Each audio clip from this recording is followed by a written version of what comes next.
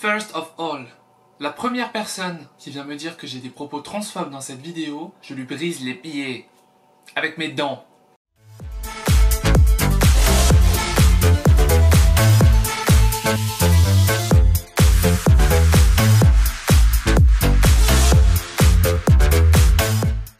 Hello tout le monde, j'espère que vous allez bien. Euh, je suis ravi de vous retrouver aujourd'hui dans une petite vidéo qui va traiter d'un sujet euh, transgenre, donc par rapport euh, aux femmes transgenres plus précisément. Putain, regardez comme mes cheveux ont poussé, je suis trop contente. Bref, on s'en tape, c'est pas le sujet de la vidéo. Donc aujourd'hui, on va parler de ce sujet récurrent quand on est femme transgenre, c'est-à-dire qu'on est un fantasme sexuel. C'est redondant, c'est c'est casse-bonbon, c'est comme ça malheureusement. On va parler des hommes, on va parler de leur comportement, on va parler de, de, tout en fait. Je vais essayer de vous donner des conseils pour repérer, j'ai envie de dire, trouver, repérer un homme bien, euh, quels sont les comportements à éviter, etc., etc., etc. Et à la fin de vidéo, je vous donnerai des petits tips en fait euh, par rapport au site de rencontre parce que euh, voilà, il y a des choses à savoir là-dessus aussi. cette vidéo, en gros, sera en plusieurs chapitres, j'ai envie de vous dire. J'ai pris des petites notes et tout. Donc voilà. Donc premièrement, on va parler des différences par rapport, je parle en termes de vision des hommes sur nous, les femmes trans, aux femmes transgenres pré-op et post-op, parce que c'est quand même une différence indéniable. En fait, le truc, c'est que quoi? C'est que cette vidéo entièrement va plutôt s'adresser aux femmes transgenres pré-op parce que euh, en fait c'est ça plus ou moins qui crée le fantasme chez les hommes. En gros, ben, euh, on en revient un peu au schémal, j'ai envie de vous dire, enfin cette espèce de fantasme là de femme avec un pénis, euh, c'est voilà, c'est c'est quelque chose de réel, hein. vous tapez schéma sur internet, vous, n'avez que du porno, enfin c'est comme ça, j'ai envie de vous dire. Donc voilà, euh, il y a toujours ce fantasme euh, sexuel chez les hommes euh, de la femme avec un pénis, et tout simplement. Donc cette vidéo va plutôt s'adresser aux femmes trans pré-op, comme je vous l'ai dit, parce que ben, les femmes post-op, en vérité, je sais pas trop comment ça se passe en fait au niveau, au niveau des hommes parce que bah, vous, n'avez rien obligé de préciser quoi, tu vois ce que je veux dire. Alors que par contre, quand vous êtes une femme euh, transgenre pré-op, bah, il faut quand même le préciser quoi. Quels sont les différents types d'hommes qui recherchent des femmes trans? Alors, euh, je vais essayer d'aller du plus craignos au moins craignos, tu vois ce que je veux dire. En tout cas, ce qu'il faut savoir, c'est qu'il y aura toujours deux catégories Première catégorie, ceux qui n'assument pas. Deuxième catégorie, ceux qui assument. Voilà, euh, déjà, là vous êtes fixé. Voilà, il faut savoir dans quelle catégorie se situe le type que vous avez en vue. Euh, ou qui vous a en vue. Hein. Et alors le premier type, ce serait en fait le gars qui a envie de passer une soirée euh, bah, pour du sexe en fait, uniquement. Voilà, ça va être uniquement son fantasme, mais il ne va pas assumer. Donc en fait, il va essayer de bah, de gratter un plan euh, d'un soir quoi avec vous et puis euh, ça n'aboutira pas plus loin. Alors faites attention à ce type de mec parce que euh, voilà, enfin après si vous avez envie de passer une soirée tranquille, un petit plan comme ça, chacun fait ce qu'il veut, il n'y a pas de souci. Mais si vous cherchez l'amour vraiment, si vous cherchez à vous poser avec un gars et tout, ce genre de mec là ça ne sert à rien, ça ne sert à rien, ça n'aboutira pas plus loin que une soirée ou peut-être plusieurs mais la plupart, c'est un soir et ciao. Voilà. C'est le genre de mec qui veut faire son expérience, parce que oui, on est des sujets d'expérience, les femmes trans, hein, c'est bien connu, lol. Mais voilà, ça va être le mec qui va vouloir, euh, qui va vouloir expérimenter, c'est euh, de la curiosité, etc. Enfin bref, voilà. Le second type d'homme, ça va être euh, un homme qui va avoir comme une sorte de fétichisme envers vous. C'est c'est un peu effrayant, euh, mais voilà, ça va être euh, un homme qui vénère les femmes transgenres, euh, qui, adore ça, qui, qui voilà, mais en fait c'est, enfin, c'est pas, je trouve que c'est pas, c'est pas l'idéal pour, pour entamer une relation, tu vois ce que je veux dire, parce que de toute façon, je pense que ça ne peut pas vraiment aboutir sur une relation. C'est comme un fétichisme exacerbé que genre, enfin, tu peux pas construire quelque chose de sérieux là-dessus à mon sens, je pense. Hein. Alors après, vous allez avoir euh, en troisième catégorie, je dirais plutôt l'homme qui n'assume absolument pas, mais qui aime beaucoup euh, les femmes trans. Euh, et c'est dommage parce qu'en en fait, il va pas assumer par rapport à son cercle social, son cercle familial, etc. Donc ça peut être le genre de type qui dirait, en imaginant que vous l'ayez vu plusieurs fois, qui est capable de vous dire je t'aime mais voilà ça peut pas marcher parce que voilà ou alors ça pourra pas aboutir parce que voilà ou alors on peut continuer à parler mais mais voilà en gros il se passera rien ou alors bah, ça peut carrément dériver sur bon bah juste pour une nuit tu vois ce que je veux dire? Donc c'est dommage parce que ce genre d'homme là euh, s'ils assumaient déjà, eux pour eux, ils seraient beaucoup plus heureux dans leur vie. D'un autre point, ils pourraient, ils pourraient vivre de belles histoires d'amour en fait. Mais bon, malheureusement, il y en a qui n'assument pas et, euh, et c'est dommage parce qu'en fait ce genre d'hommes ont tendance à se marier ou à, enfin, ou à sortir ou à se marier avec des femmes cisgenres alors que sexuellement ça ne va pas c'est pas ce qu'ils aiment et, bah du coup ça finit toujours euh, de la même façon ils vont aller les tromper etc etc on connaît la chanson hein. mais voilà c'est dommage c'est vraiment dommage. Et ensuite, pour finir, bah, je dirais, enfin après j'aurais peut-être oublié, hein, mais euh, euh, je dirais qu'il y a les hommes qui assument. Et donc, euh, bah là, c'est parfait quoi, parce que le type il va vous aimer, il va entamer une relation avec vous, il va assumer auprès de ses proches, de sa famille, etc. Mais ces hommes-là, croyez-moi, sont les plus rares, évidemment. Sinon, c'est pas marrant. Mais il y en a, il y en a. Il faut juste les dénicher, mais il y en a. Voilà, c'est très rare, mais il y en a.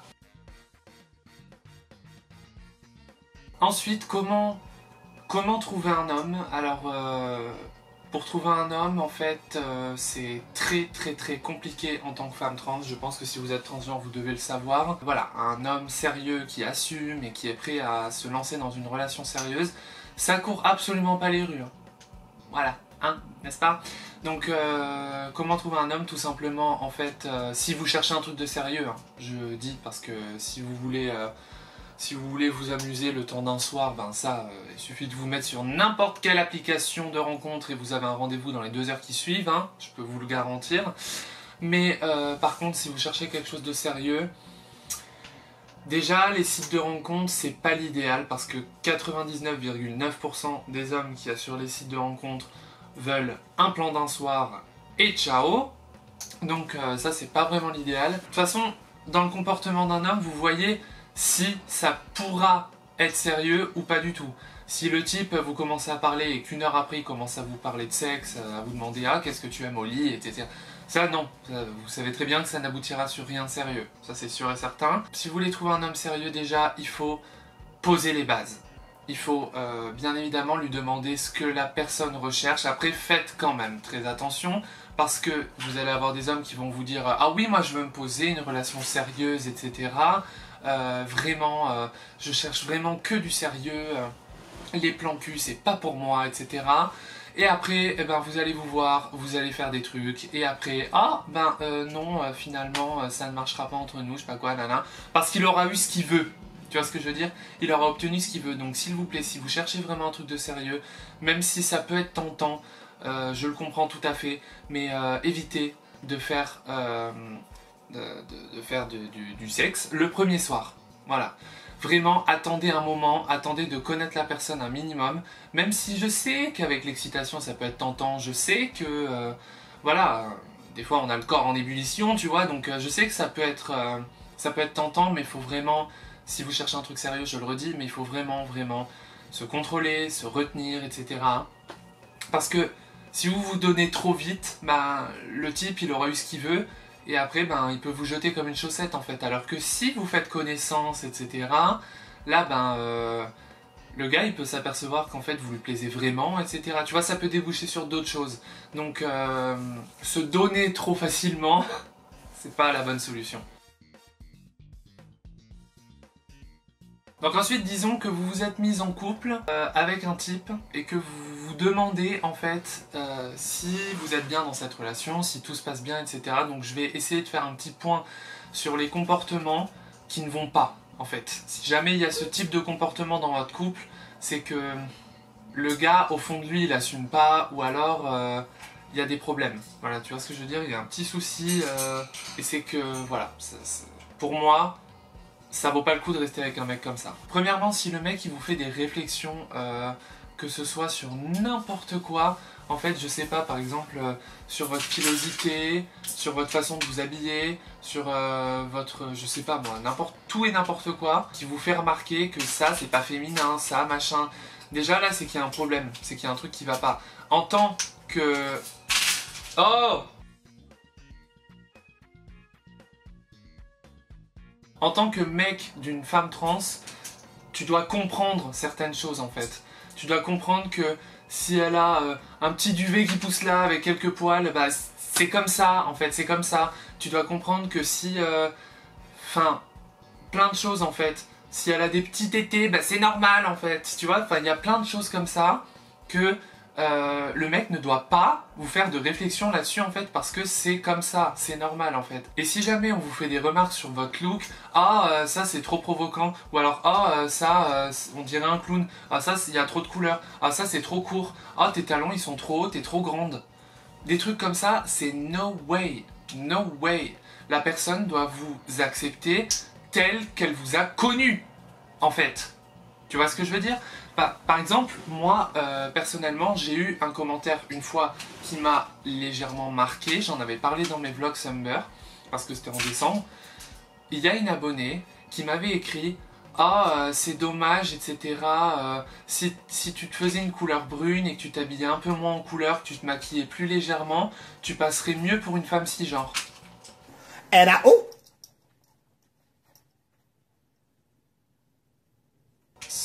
guys, je ne comprends pas trop en fait, étant donné que mes couleurs, mes make-up, euh, mes cheveux rouges, euh, mes vêtements de couleur, euh, mes bijoux, mes, mon maquillage, c'est moi, c'est ma personnalité. Je vais pas me transformer en Caroline du secrétariat pour faire plaisir à je sais pas qui, tu vois. Le mec qui t'a connu, t'as les cheveux verts, bleus, roses, blond platine, violet, tout ce que tu veux ça te plaît, tu gardes. Si le mec qui te dit ah fais-toi fais -toi brune, tu passeras mieux pour une meuf. Ça c'est des réflexions mais no way Jamais de la vie en fait, jamais de la vie. Le mec doit vous accepter tel que vous êtes parce qu'il est censé vous avoir choisi comme ça et vous avoir aimé comme ça. Et même euh, si vous décidez de changer de look, c'est vous, c'est vos cheveux, c'est votre look vestimentaire, c'est votre maquillage, c'est vous qui le portez. À un moment donné, euh, faut, pas, euh, faut pas non plus euh, déconner. Donc voilà, le mec doit vous accepter tel qu'il vous a connu.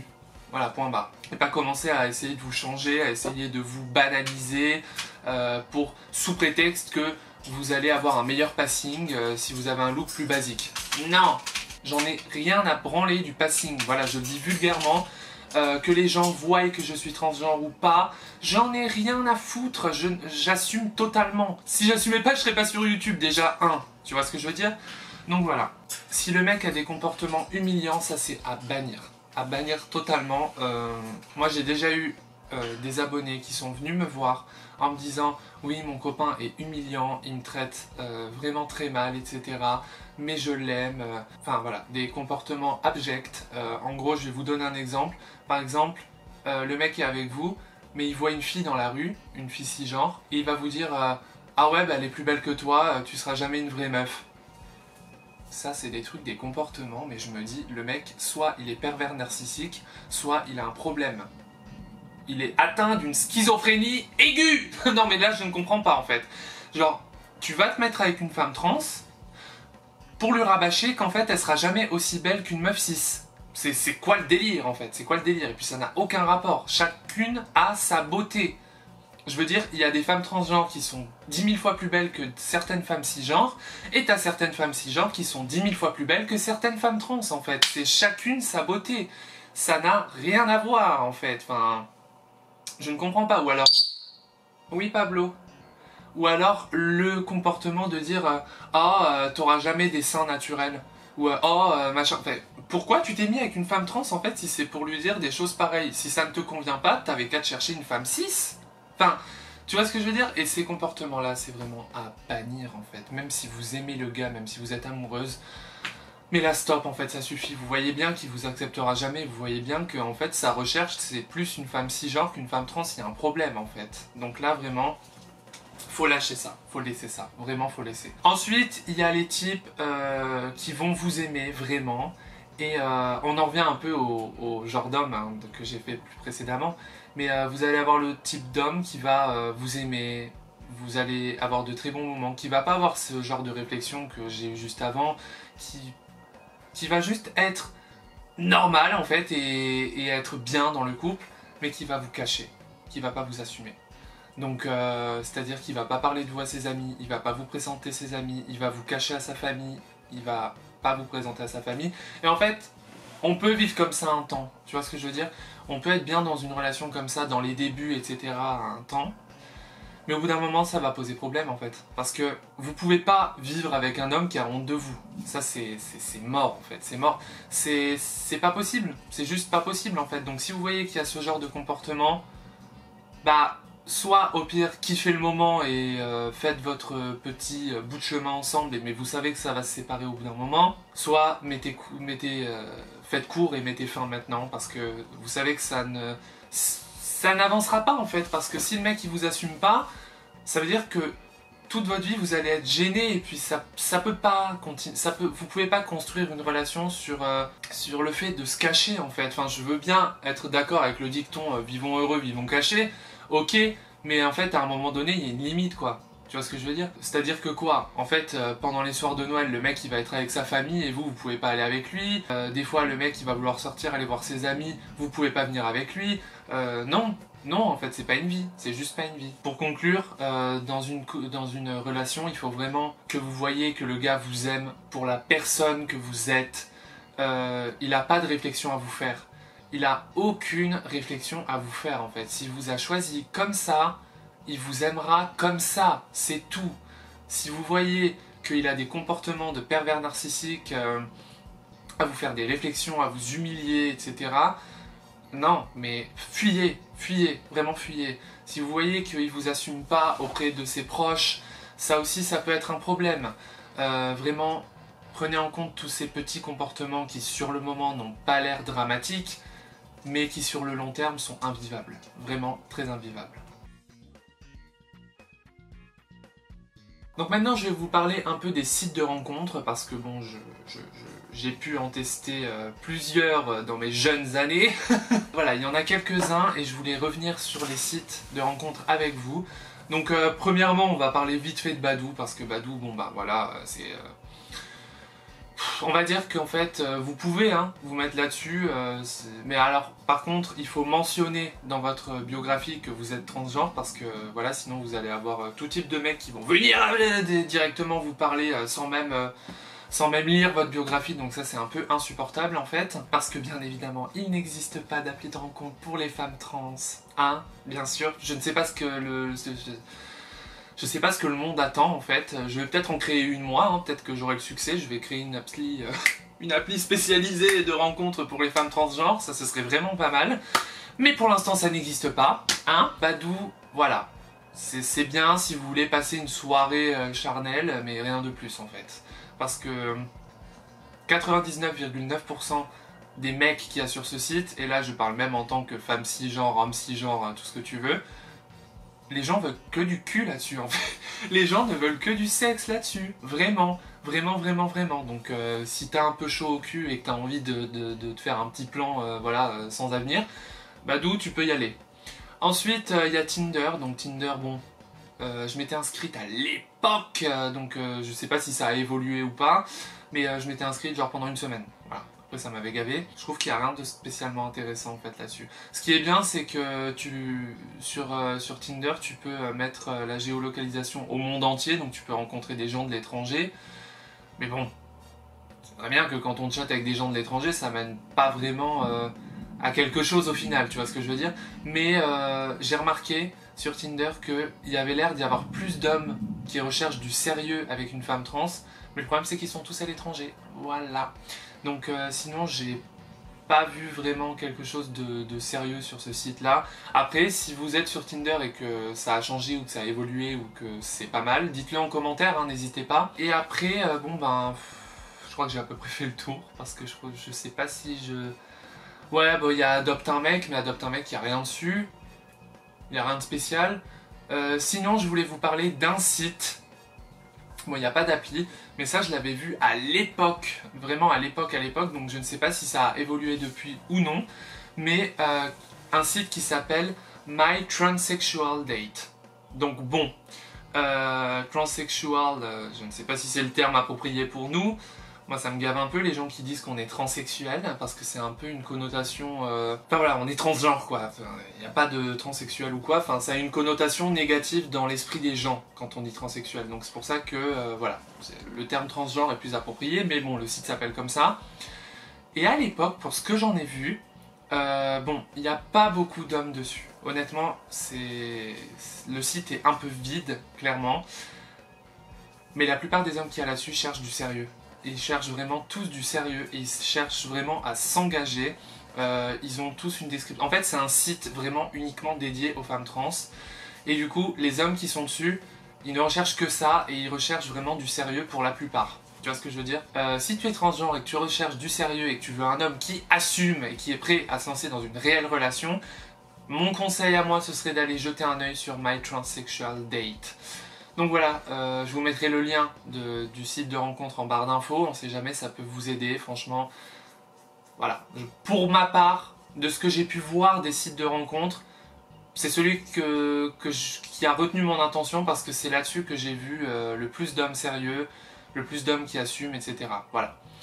Donc écoutez, j'espère que cette vidéo riche en informations vous aura plu. Voilà, on est des femmes transgenres on n'est pas euh, inférieur à une femme cisgenre, euh, on est tout autant un être humain qu'une femme cis, on est tout autant euh, féminine qu'une femme cis, donc pourquoi on ne mériterait pas des hommes de qualité? Je vous le demande mesdames.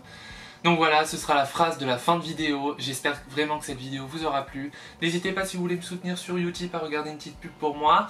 et puis à vous abonner, liker et commenter. Racontez-moi vos expériences avec avec euh, les hommes, euh, avec ces chers messieurs. Hein.